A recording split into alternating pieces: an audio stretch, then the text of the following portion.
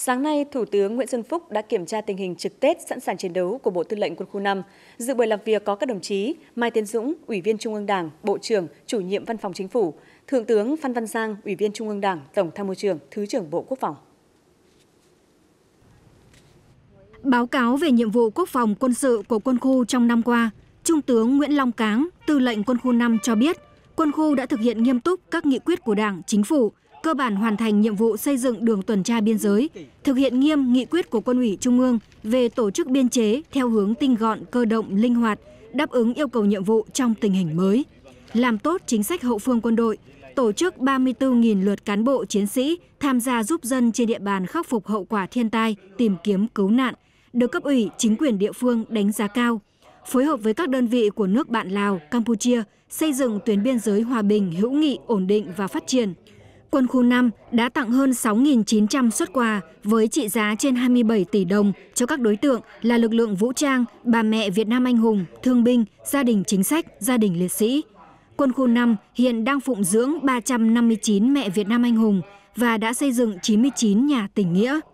Nhấn mạnh quân khu 5 là địa bàn quan trọng có biên giới với Lào, Campuchia và có các huyện đảo, xã đảo, Thủ tướng Nguyễn Xuân Phúc khẳng định Đảng, Nhà nước dành nhiều sự quan tâm đến quân khu. Thủ tướng ghi nhận trong năm 2019, quân khu đã quán triệt nghị quyết của Bộ Chính trị, Trung ương Đảng, Quân ủy Trung ương, Bộ Quốc phòng về nhiệm vụ quốc phòng trên địa bàn một cách cụ thể, linh hoạt, chắc chắn, phù hợp với tình hình.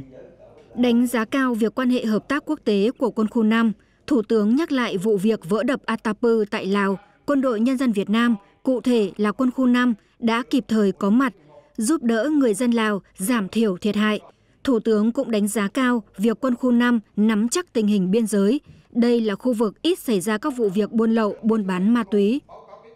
Thủ tướng biểu dương việc thực hiện công tác dân vận, chính sách hậu phương quân đội của quân khu 5,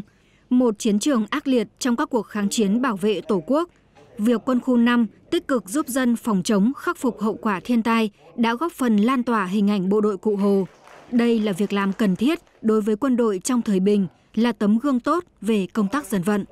Về nhiệm vụ trong thời gian tới, Thủ tướng yêu cầu các đơn vị quân khu 5 phải tiếp tục quán triệt quan điểm, đường lối quân sự quốc phòng của Đảng, Nhà nước, đặc biệt là chiến lược mới mà các đơn vị trên địa bàn quân khu, các tỉnh cần quan tâm trong tình hình mới. Không được lơ là, mất cảnh giác, nắm chắc tình hình biên giới, biển đảo, không để tình huống xấu xảy ra.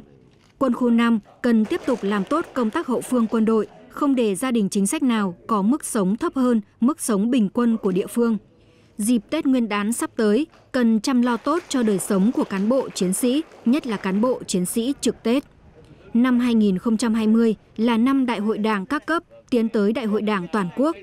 Thủ tướng yêu cầu tổ chức Đại hội Đảng toàn quân khu gương mẫu trong sạch, đóng góp chung vào Đại hội Đảng toàn quân.